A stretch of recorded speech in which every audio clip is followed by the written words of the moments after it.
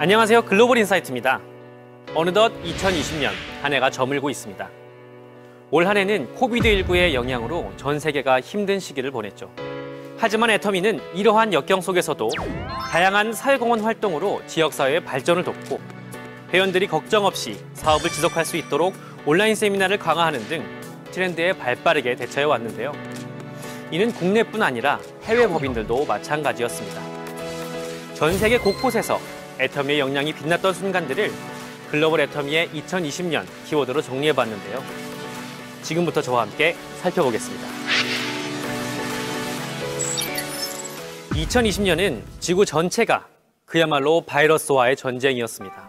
날이 갈수록 전 세계 코비드19 감염자 수가 급격히 늘어나면서 3월에는 급기야 세계보건기구 WHO가 팬데믹을 선언했죠. 이러한 상황 속에서 마스크는 개인 방역의 필수품으로 자리 잡았는데요.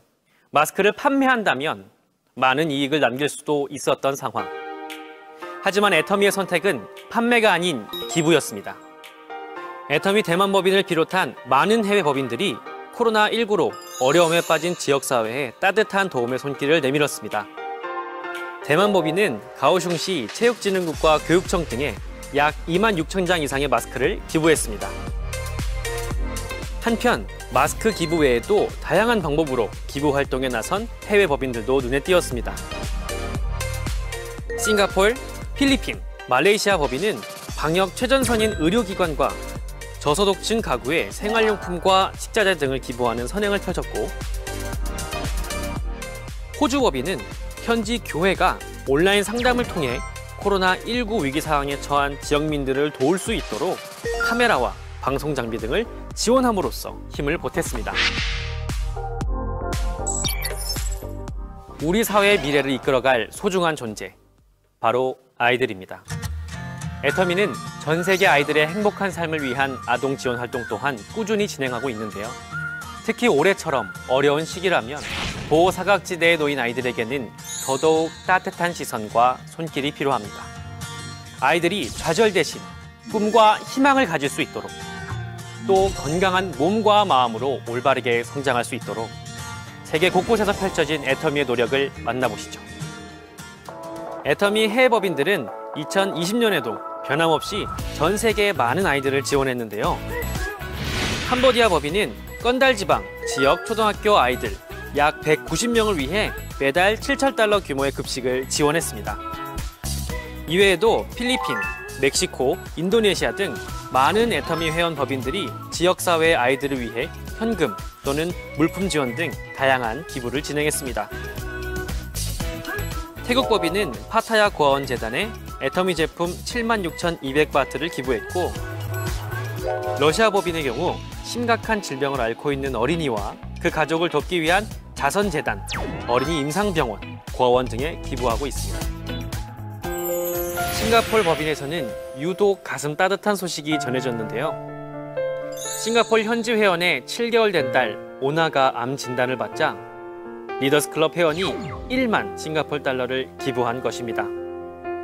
법인 또한 오나와 그 가족을 위한 제품 기부를 통해 오나가 건강해지길 바라는 마음을 전달했습니다. 예기치 못한 순간 닥쳐온 재해로 절망에 빠진 사람들.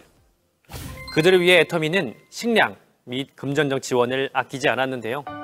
자연재해로 인해 큰 피해를 입은 우리들의 이웃들이 하루빨리 다시 희망을 찾길 바랍니다. 2020년 1월 인도네시아 자카르타 등 수도권 일대는 13년 만에 기록적인 폭우와 그로 인한 홍수, 산사태 등으로 어마어마한 인명과 재산 피해를 입었는데요. 애터미 인도네시아 법인은 자카르타 반태주의 홍수 및 산사태 피해자들을 위해 기부금 3억 루피와 물품을 기부했습니다. 필리핀 법인 또한 자연재해로 피해를 입은 지역 회원들에게 다량의 물품을 지원했는데요. 지난 1월 발생한 탈 화산 폭발 피해자 100가족에게 24만 달러 상당의 식료품과 애터미 제품을 기증했고 11월 발생한 태풍 율리시스로 피해를 입은 애터미 회원들에게는 30만 파운드 상당의 식료품과 20만 달러 상당의 제품을 전달했습니다. 전 세계적으로 퍼져나간 애터미의 선한 영향력. 감사하고 또 자랑스럽습니다. 이처럼 애터미는 함께 사는 세상을 위해 적극적으로 나눔을 실천하고 있는데요. 내년에도 도움이 필요한 많은 곳에 애터미 온기가 전해지길 기대해 봅니다. 코비드19 팬데믹 상황 속에서도 글로벌 애터미의 위상은 날로 날로 높아지고 있습니다. 올해는 새로운 해외 법인의 오픈 소식이 많이 들려왔는데요. 2020년 애터미 해외 법인의 뉴 페이스를 만나보시죠. 애터미가 거대한 중국 시장에 당당히 도전장을 내밀었습니다.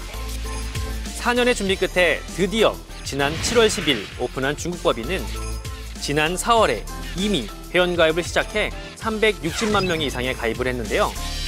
엄청난 규모의 인구와 무궁무진한 자원을 발판 삼아 드넓은 대륙에서 쭉쭉 뻗어나갈 애터미 중국 법인의 앞날을 기대합니다. 두 번째 주자는 애터미 콜롬비아입니다. 현지 시간으로 지난 10월 15일 오픈한 콜롬비아 법인은 12월 4일 기준 약 26만 5천여 명의 회원이 가입을 했습니다. 남미에서 네 번째로 큰 나라인 콜롬비아는 아메리카 대륙의 물류 허브로 도약할 수 있는 성장 잠재력을 가진 나라로 평가받고 있습니다. 콜롬비아 오픈을 필두로 북미, 중미, 남미 등 미주 전역에 활발하게 펼쳐질 애터미의 활약은 이제 시작입니다. 콜롬비아에 이어 같은 달 27일 애터미 홍콩 법인이 문을 열었습니다. 홍콩은 아시아의 금융 중심지이자 국제 비즈니스의 중심지라고 할 수 있는데요. 특히 최근 건강에 대한 관심이 증가하고 바쁜 라이프 스타일 및 인구 노령화 등으로 관련 시장의 성장이 기대되는 나라입니다. 2020년 11월 11일에는 인도 법인이 오픈했습니다. 약 13억 8천만 명이라는 인구를 가진 인도는 직접 판매 시장의 성장 잠재력이 엄청난데요. 벌써 약 227만 명 이상의 회원이 가입한 것은 물론 11월 기준으로 샤론 로즈 마스터 2명을 비롯해 156명의 직급자가 나오면서 글로벌 애터미의 밝은 전망을 보여주고 있습니다. 여러분, 온택트를 아시나요? 2020년 COVID19 확산이 장기화되면서 비대면이 일상화됐죠. 온택트는 비대면을 일컫는 언택트에 온라인을 통한 외부와의 연결, 온을 더한 새로운 개념입니다. 온라인을 통해 대면하는 방식을 가리키는 것이죠. 글로벌 애터미 역시 새로운 시대의 흐름에 맞게 각종 활동들을 오프라인에서 온라인으로 빠르게 전환했습니다. 코비드19 때문에 세미나에 못 가면 어쩌지? 이런 걱정은 접어두셔도 좋습니다. 오프라인 세미나 진행의 어려움을 깨닫자마자 애터미는 발빠르게 새로운 방향을 모색했는데요.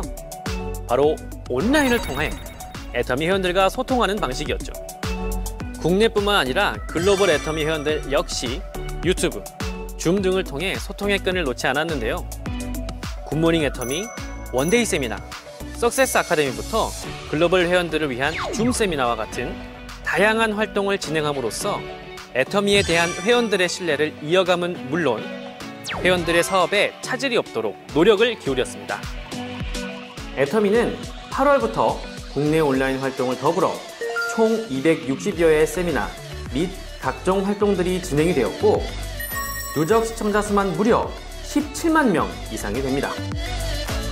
시대 흐름보다 한 발 먼저 준비하고 먼저 실행하는 애터미. 이제 전 세계가 하나 된 애터미는 현실이 되었습니다. 2020년 그 어느 때보다 어렵고 혼란스러운 상황 속에서도 오히려 절망이 아닌 희망과 더 큰 가능성을 발견할 수 있었습니다. 다가오는 2021년 그 가능성을 바탕으로 애터미가 새로운 도전을 합니다. 글로벌 애터미를 향한 또 한 번의 도전! 전 세계를 하나로 연결하는 획기적인 쇼. 그 정체는 이 뒤에 바로 공개합니다. 2020년 모두 수고 많으셨습니다. 지금까지 글로벌 인사이트였습니다.